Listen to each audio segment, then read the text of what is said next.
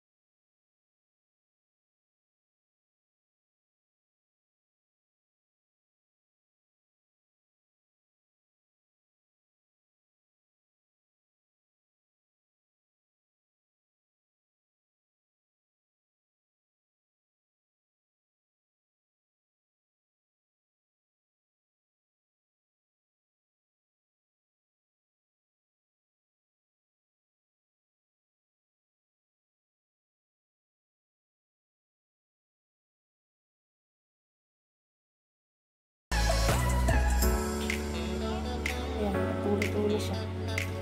Kasi luto-luto na. Pero, yun lang yun. Napakasimple, di ba? Ito ano lang to. Binabot ko lang sa asin. Naginisan ko lang. Tapos yung nilaga. Nilaga, nilaga lang. Tubig sa asin yun. Prito. So, lipat lang natin ito dito. Yan na lang.